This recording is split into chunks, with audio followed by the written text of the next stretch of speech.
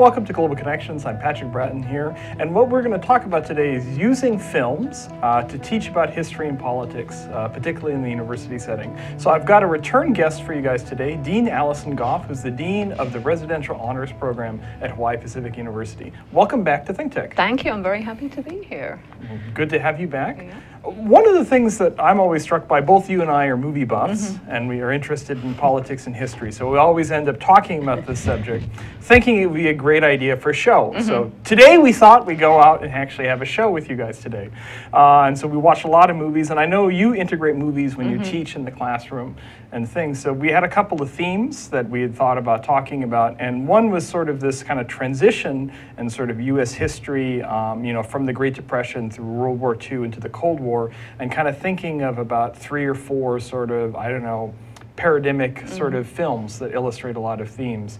So you wanted to start, uh, of course, as we always want to start in the, the sort of golden age of the Great Depression in Hollywood, right? And one of the things that I find interesting here is that you have this apparent paradox, right? Because when we think about the Great Depression, mm-hmm. a lot of us had the stories our grandparents or maybe now our great great parents uh, talked to how hard life mm-hmm. was. But when you go back and you watch films of this period, they're, they're glorious and they're glamorous. And there's Fred Astaire and there's Cary Grant uh, and there's Carole Lombard. And there's all this glamour at a time that we've grown up mm-hmm. with these stories about how hard life was. I mm-hmm. mean, what's doesn't that strike you perhaps as odd initially? Well, you know, talking to my grandparents, it doesn't strike me as odd. And they, they were the people who hid, you know, their money under the mattress. And my, my father, you had to persuade them to put them in the savings bank, you know, in the 70s because they were so, you know, had such a bad experience, you know, during the Depression. But it's from my grandfather that I got a love, you know, of classic movies, particularly these screwball comedies, which really I think were fashioned as an antidote, you know, to the, to the Depression. And on, on the one hand, when you look at these screwball comedies, comedies, it looks like there's nothing in there that you can use, uh, you know, in a history class or a politics class to, to sort of replicate um, uh, the period, um, because you don't see, you know, uh, the, the, downside of the depression. You, you, they're not really making films about the Okies. They're not really making films about about um, you know slums. They're not really making films about um, uh, people throwing themselves out of buildings on, on, on Wall Street, and they're not making films about the people who overwhelm overwhelmingly were impacted by the depression, which is you know the, the, working and middle class. Instead, most of the characters you see in there right, are the professional classes, upper classes, etc. So you think, well, what does this have to do? What can this tell us? You know about um, uh, the, the, the 1920s and the 1930s, the era of the Great Depression in particular. And of course, what it can tell you is something about you know the mindset of, of, of people there. And I think the screwball comedy really does uh, reflect. Um, uh, the, the ability of people to, to at least mentally rise above the Great Depression, but it also reflects um, a great deal of. Um, I think, uh, government propaganda that actually was embraced by Hollywood during mm. that period to see them, you know, through the Depression. But at the same time, when you look at these movies very closely, they are very subversive. And this is what interests me, because, of course, between uh, the beginning of film and up to the 1950s, you know, um, films were not um, protected by the First Amendment. And so they were censored, essentially. And so the movies, particularly of the 30s and 40s, which on the one hand looked like, you know, they're, they're um, you know, trying to buoy the spirits of the population and say everything is normal and, you know, cheer people up. On the other hand, they're really quite subversive and they kind of presage, I think, a lot of themes that are going to hmm. emerge mm. and developments that are going to emerge um, in history in the later, uh, you know, kind of decades. I think also what's interesting about uh, the movies of the, the, the, late 30s and the early uh, 40s as well, and, and the way I like to use these movies in class is that, you know, traditionally as historians and as, as political scientists, we like to use movies movies that illustrate, you know, great battles and mm. political events, assassination of JFK, or whatever it is, these great movements. But I think what these movies can tell us more about uh, are, are, are, things that historians really since the 60s have been more interested in, or growingly interested in, which is, you know, social history, mm. um, uh, the history of, you know, people who traditionally didn't make it into the political record. So I think movies are, are useful in the 30s and 40s for kind of documenting that side uh, of history. So I know we're going to talk about you know, how um, uh, these movies influence, you know, politics and how they reflect politics, but I also think these are movies that serve both as documentaries of, you know, a social history and also kind of artifacts of social mm. history. And I think that's two interesting ways to see movies. I think oftentimes students think of you know hi, um, uh, movies that deal with a historical topic as a kind of documentary, if, even if they're fiction. Uh, what I like to encourage my students to do is to look at the movies themselves as artifacts, right, yeah. of, of, explaining you know a particular time in history. So you know. Today we're going to talk about movies of the 40, uh, 30s and 40s, whereas I think most of our students want to watch contemporary movies about past events. Mm. But I don't always think that that's the best thing for kind of getting them into the zeitgeist, if you want, yeah. of a particular yeah. Era. So I think I think this is this is something that historians need to do more and more. Actually, look to more classic movies as mm. ways of illustrating the past than you know looking at movies from you know the 80s um, uh, onwards. There's a very um, interesting study actually done. About student attitudes and what they take away from movies. And um, an historian whose, whose name I'm sorry escapes me at the moment had his students watch uh, Dances with Wolves, which I'm sure most people are familiar with, and The Searchers, which a lot of people are not familiar with. And he had them watch Dances with Wolves first, and they just lapped it up, you know, lock, stock, and barrel. Everything there was historically accurate, etc., etc. And this was done in the 90s. And, um, you know, he kind of theorized that one of the things that students like is that movies that are made contemporaneous to them they understand because they use the sort of tropes and they use mm. um, viewpoints and visuals that are very you know kind of current to them. And this he posited led to their um, you know kind of ability to or lack of ability to be critical right about the historical content of the movie. So we then you know showed them the searchers you know which they thought was a terrible movie because it lacked all the visual glam you know of, of, of modern movies. And of course it has you know attitudes in there towards Native Americans and women that were very reflective of the time period in which it was made. So they hated that about the movie. But once they'd watched The Searchers and then watched the modern movie again, they were likely to be far more critical of Dances with Wolves. So oh. I think this is a very interesting way to use, you know, classic mm. movies, even though um, from a modern perspective they're flawed in their attitudes, particularly towards women and minorities or whatever, or so it seems, in order to be critical of more modern movies, which they might tend to think are more factually and historically accurate. So that's one of the reasons I'm glad we're talking about classic movies, because I think we can use them in that mm. way uh, as, as a kind of backdrop to, to modern movies. So he, th this guy suggests that when you're incorporating movies into teaching history or politics, that you actually try to balance, you know, an older film with a modern film, and it mm. makes students more critical um, uh, about um, uh, analysing the historical and political content. So, mm. um, because people are always very um, uh, wary about using right films in classes. I mean, some people see it just as a way for people just to sit there, teachers to sit there and put their feet up when they haven't got anything better to do. But you know, actually incorporating films into into classes requires a great deal of thought. Yeah. Um, I, I, think, and I, I, like this guy's idea of using the balance between these two movies. And most of my students, of course, don't know any movies really pre 2000 now. Yeah. So when you ask them to watch, you know, like um, um, you know, Bringing Up Baby from 1938, or you ask them to watch uh, The third man from that's 49, mm. right? They're, they're absolutely askance at this, but they're very good movies to use, I think, to illustrate mm. you know, certain social and political trends in the past. Well, one thing also, kind of a flip side, I find, I think, oftentimes for professors, because we're older than mm-hmm. our students, you know, the generational shifts are not as apparent. So often I'll have colleagues say, well, I'll never show anything really old to the students. I'll just show them something from the 80s. Yeah.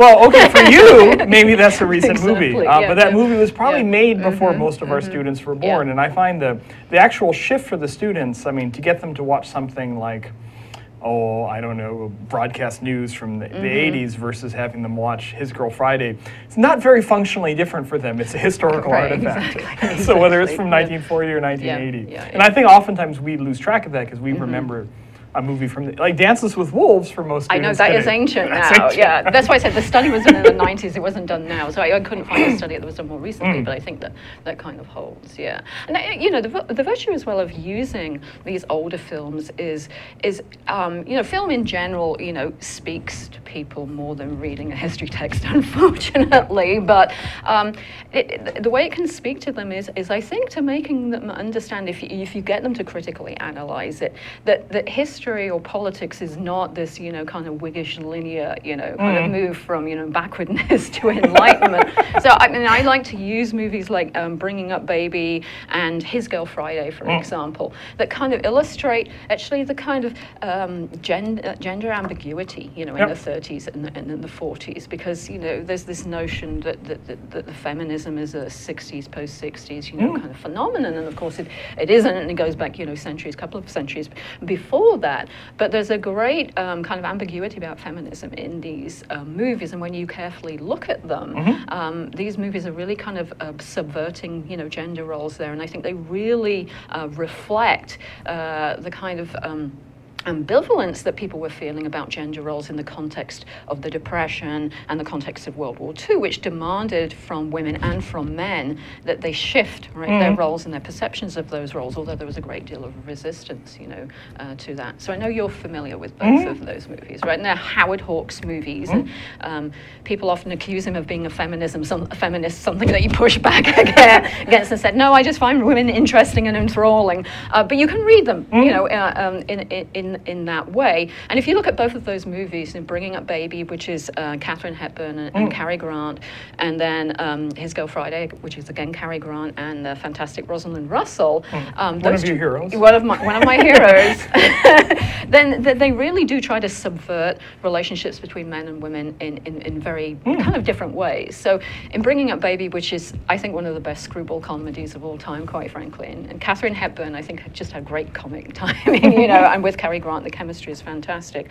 Um, you know, you have this woman, um, Katharine Hepburn, who seems to have no relationship with the Depression whatsoever, Right. right? She's this heiress, she's very rich, she doesn't have a job, she's living off the family uh, fortune, and um, uh, the, the comedy revolves around her and um, uh, the character pay, played by um, uh, Cary Grant. David Huxley, I think his hmm? name is right, who's this this bookish, you know, professor who digs up dinosaur bones, etc., etc. And somewhere in there, there's a leopard involved, which is the baby, you know, in, in the title. And in this movie, she very much is the aggressor. Oh yeah, she, she chases She after chases him. him. It's like right? Pepe Le Pew. Yeah, absolutely. And you know, from the get-go, she is the center of that story. You know, hmm? one of the opening scenes, you know, takes place in a masculinized environment. It's on the golf course, right? Mm-hmm. But there can be no more masculinized environment in the 30s, quite frankly, and then the golf course. And she drives this shot, you know, down the fairway between um, uh, David and the fellow who's talking to about business. Again, this is a very masculinized world, and she's right in the center, you know, um, uh, of that. And she remains in the center throughout the rest of the movie. And then she's, you know, she's just this character that brings utter chaos here, right? Which I think is a metaphor for, you know, the subversion of the of these relationships. Because if you think about it, how many things does she break Right. during that movie, right? First of all, she breaks his car, right? She mm-hmm. takes his car by mistake and dents it and whatever else. She breaks his glasses, right?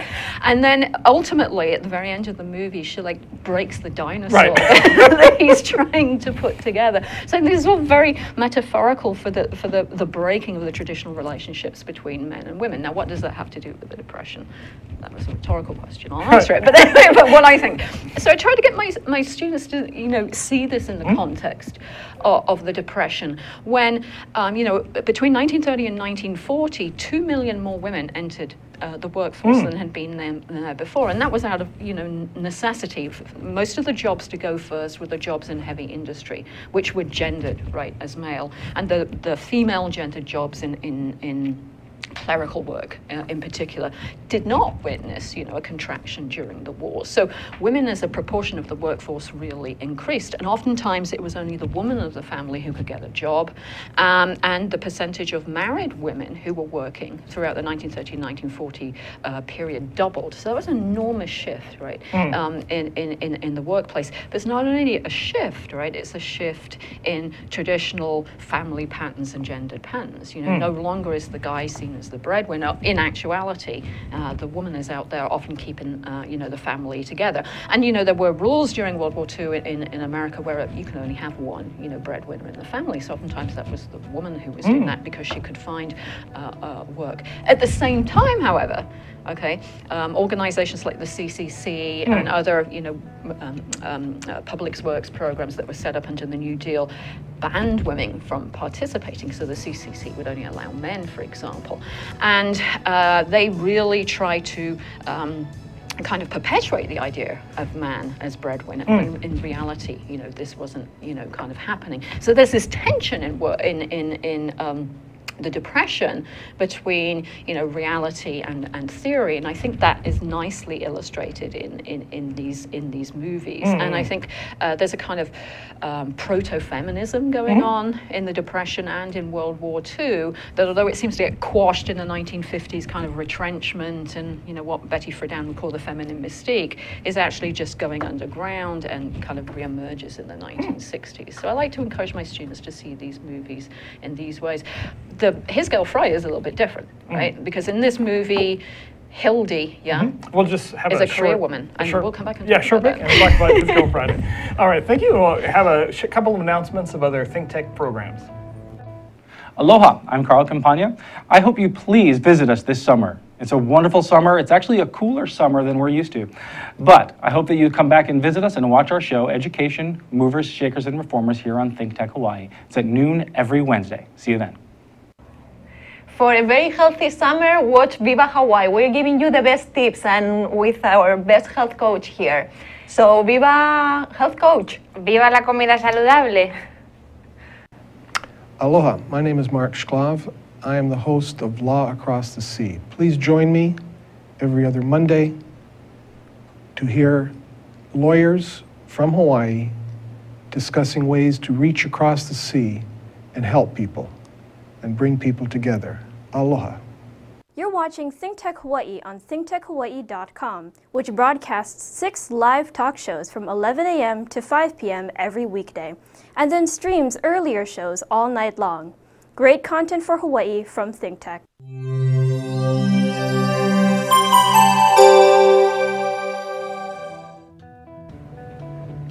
Hello, welcome back to Global Connections. I'm talking with Dean Allison Gough about using films to teach history and politics. Before the break, we were talking about some of Howard Hawks' great movies, the screwball comedies in particular, uh, Bringing a Baby and His Girl Friday. And so before the break, you were talking about the, the, the aspects of these movies being somewhat subversive mm -hmm. within terms of gender and societal roles, where oftentimes people nowadays, you know, we have a what I call a sort of presentist hu hubris in a mm -hmm. sense that, you know, in a sense, I think not to skip media for for a second uh, with you, but I mean, if you look at a lot of the attention of why a lot of people liked watching a show like Mad Men, in mm-hmm. a sense, was that you could sh- show how gender roles or race relations were back in the '60s, and I think a lot of it was for people today to watch that. Oh, see how far we've yeah. come since those barbaric yeah. times, yeah. Uh, in in a sense. And I, I think maybe what you're drawing on is that um, it, it actually it's much more complicated than mm-hmm. that. I, I, think absolutely. I, I, mm. mean, I love Mad Men too, but I think it was a very simplistic kind of presentation of gender roles in there. And of course, when we, we talk about gender roles, we always focus on women, right? But we need to focus on the male mm. uh, in, in this as well. And we, we were talking about, you know, the evolution of male roles like that of, of William Powell, right? Mm. And in the post-war era, they become a lot more you know, masculine and hard-boiled, where you would expect it to be the other way around if you're talking about a linear, you know, kind of mm. progression to the modern progressive, you know, right. kind, kind, of, kind of male. So we have to remember when we're talking about gender relations, it is, you know, multi kind of faceted here. It's not just to, um, you know, do with women. But yes, I think they're a lot more uh, complicated, the relationships. And we, we were going to talk, you know, about, about His Girl Friday mm-hmm. before the break. And, you know, the, the, one of the central characters in that, Hildy, is, is a very interesting character. Um, you know, on, on the surface, the, the movie looks as if it's, it's a commentary on the kind of binary relationships between men, you know, and, and women. Um, but in the character of Hildy, she simultaneously, you know, rejects the patriarchy, but she wants to be a part of it right. as well. And and she's referred to as a female newspaper man, you know, right. in, in, the movie. So she has this kind of dual identity and, and, double consciousness. And of course, in the end, she she doesn't go and live out in Albany with her insurance salesman, you know, husband. Instead, she goes back to her ex-husband.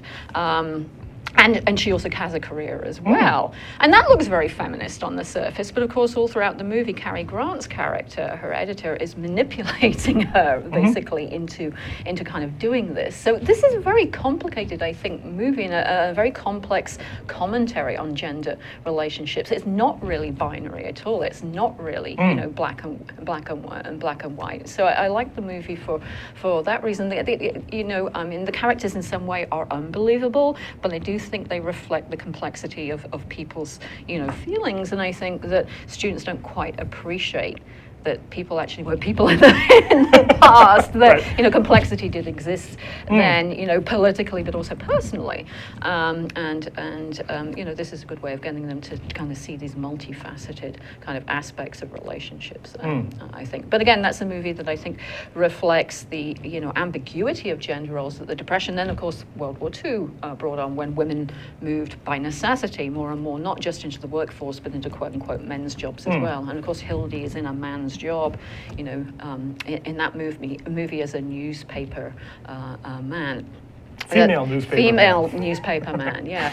Um, female journalists, of course, during the Depression were some of the first ones to be put out of business. So Mm. the movie doesn't really touch upon that, but that probably had some sort of resonance, you know, with, with professional women who were kind of watching that Mm. movie. I think her kind of struggle to get back in, actually, to the business, I think would have been a very interesting commentary for them.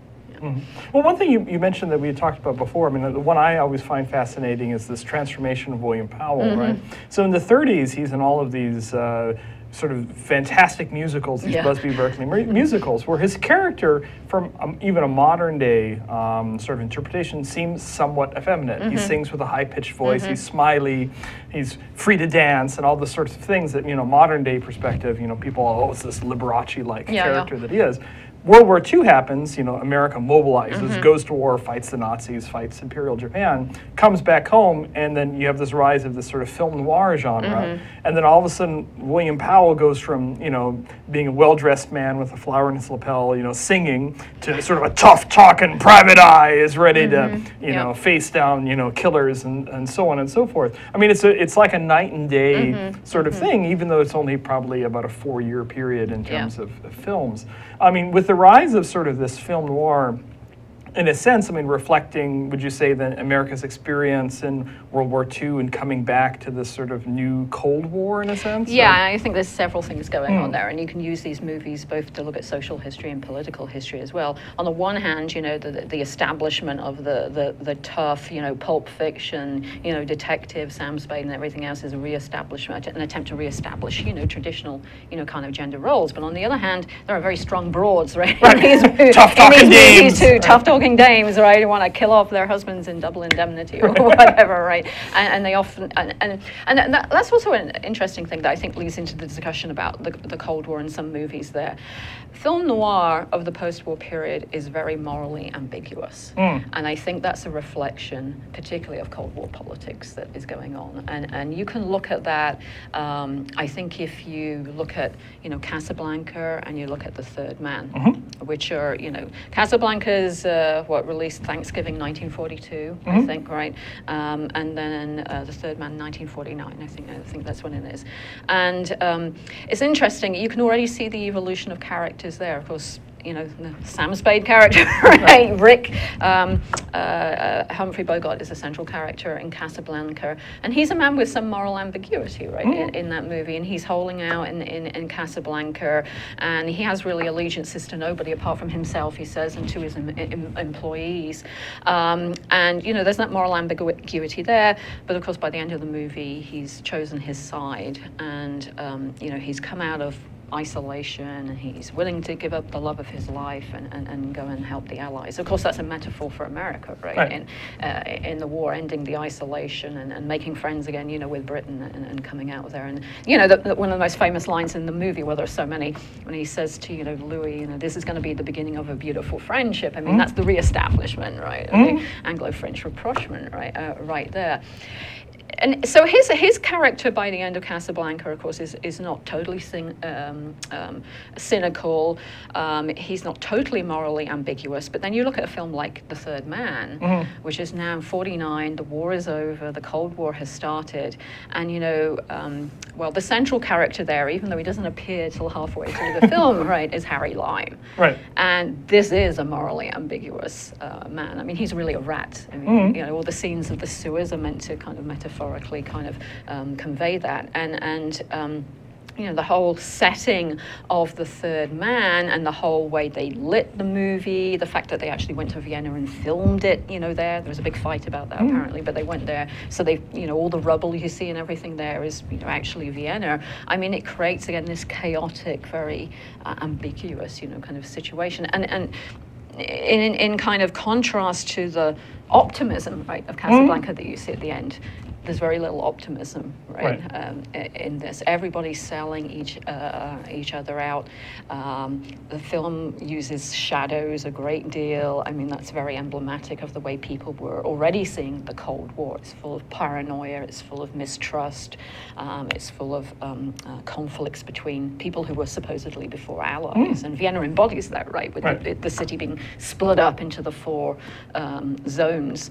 Um, and, and I believe, you know, the, the, the, the director and writer, well, Graham Greene, obviously, but the, the director, um, you know, went there on a tour beforehand and then kind of sketched out the screenplay Oh. after it'd actually kind of been there. And he talked to everybody in all of the sectors about what was going on. So, it was, he, you know, his, it's, the movie very much is part of his experience as well as Graham Greene's experience as well.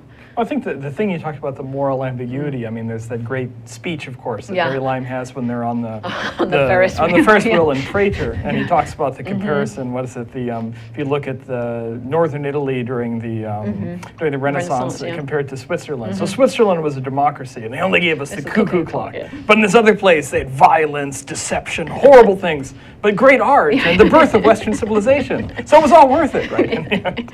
yeah, exactly. Yeah, mm. I, uh, I- th- that's just such a great movie, you know, and, I encourage my students to see it, you know, as part, you know, historical, you know, artifact, but mm. also as, as, as metaphor um, as well. The way the film is shot, although we didn't want to talk about, you know, camera angles and stuff like that, but the way the first time we see Harry Lime, he's in the shadows, right, mm. and he gradually kind of comes out to them, and there's been all these hints that he's there. I mean, that is Cold War paranoia right there on, on, on the screen. Um, so I, I think this was um, very conscious, uh, a very consciously made uh, film. And of course, all the people who were involved had been involved in some way, right, in the intelligence services before and during and after the war. So obviously Graham Greene, you know, he was a sometime spy. His sister was in MI6.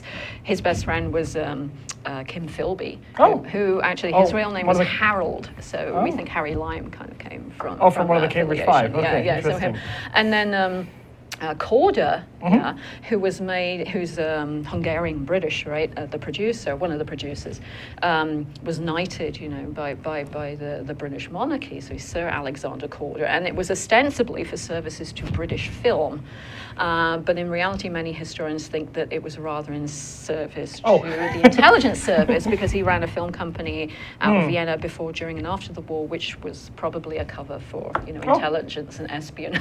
so th- these people who made the movie were very deeply embedded, you know, in the Cold Mm-hmm. War, which, of course, as historians and political scientists, we would argue, obviously started way before World War II Sure. in many ways.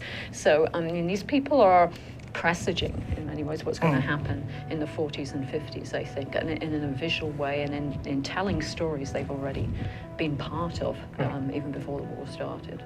Nice. I think we could go for another hour, uh, but we've got to draw it to a close. Oh. Uh, but maybe we can do this again. I would be think. fun, I think that would be fun. We have a lot more to talk about. I, I, I imagine that you do. Sorry. okay. Well, thank you very much for joining us on, on Global Connections. Thank you for Allison you. for coming. And I look forward to seeing you guys next week.